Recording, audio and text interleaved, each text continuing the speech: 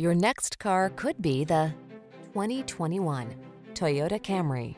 With less than 10,000 miles on the odometer, this vehicle stands out from the rest. This captivating Camry is the ideal family sedan.